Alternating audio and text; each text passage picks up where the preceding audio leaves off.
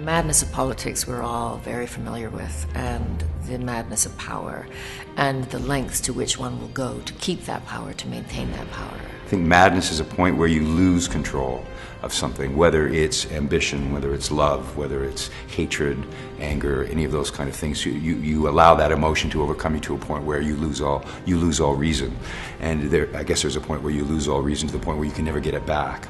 All the men in the room call her mad. They tell her to stop grieving, to stop crying, to bind up her tresses. And she says, I am not mad.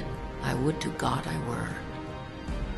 For then 'tis like I should forget myself. Oh, if I could, what grief should I forget?